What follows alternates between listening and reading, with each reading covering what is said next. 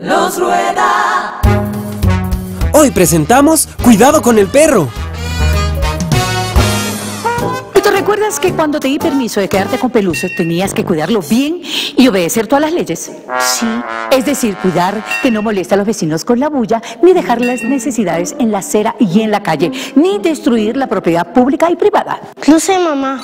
Bueno, y te acordaste también que no debe ir en el asiento delantero del auto, ni bañarlos en las fuentes públicas, ni dejar que beba el agua potable de las fuentes para personas. Sí, sí, mamá, seguí todas las reglas cuando saqué a Peluso. Si fuiste tan bueno para cuidar del perro fuera de la casa, ¿por qué no fuiste bueno para cuidar de él dentro de la casa?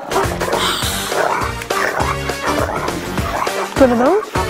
Mm.